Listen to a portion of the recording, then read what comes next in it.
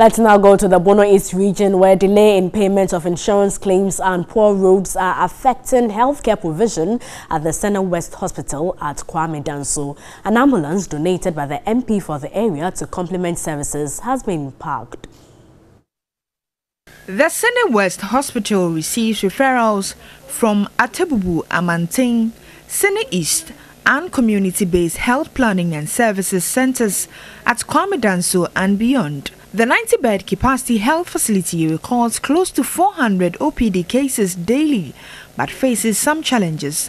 The National Health Insurance Authority has certified the facility to receive and provide care to patients on the scheme, but prompt payments of claim arrears by the authority is not done frequently. The last time the facility received payment was in February 2019. Medical Superintendent of the hospital, Dr. Anthony Chum, indicated the hospital is highly indebted to suppliers, so it is difficult to assess medical consumables. Project comments have not been completed. 98% of our patients are insured clients, and then because they come in and then we offer them the services, delay in payments or reimbursements from insurance is always a challenge uh, to, to, to, to, us. So therefore, if the insurance does not pay us, it's also difficult for us to be able to get our supplies and medications uh, to be able to attend to this, these clients. Everyday clients do come in and you cannot turn them down. The hospital is in dire need of funds to run the facility.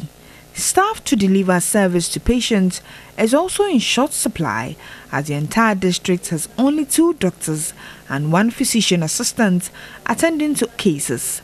They are committed to saving lives, but emergency cases are difficult to handle because most roads in the district are in extremely deplorable state. In 2018, the Member of Parliament for the area donated an ambulance to the hospital, but it is not serving its purpose. Roads here are deadly, resulting in increased traveling time. The situation becomes worse during the rainy season. From here to Atebubu is quite uh, in a deplorable state, and it's worse when we are in the rainy season. As we speak now that we are in the dry season, the dust alone is also another thing for us to deal with. We also have armed robbers on the road, so there have been instances where armed robbers have attacked our ambulance before. Construction of the Atebubu Amantin Kwame Danso Kejeji Road, classified under the Cocoa Roads, was halfway done and work has not resumed since 2018. This road is major road, major road because we have got Pantu here.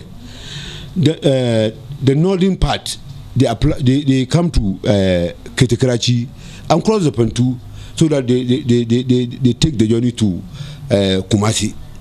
That will be very smooth for them. But nowadays, they, they, they, are not coming here. They, they, they pass to Yeji because of the nature of the road. The Health Directorate, which regulates health services in the district, is eager to expand the facility but also faces similar situation. Committing resources to improved health care at the Sene West District Hospital would be key in achieving the United Nations Sustainable Development Goal 3, which requires the provisions of quality and accessible healthcare for all by 2030.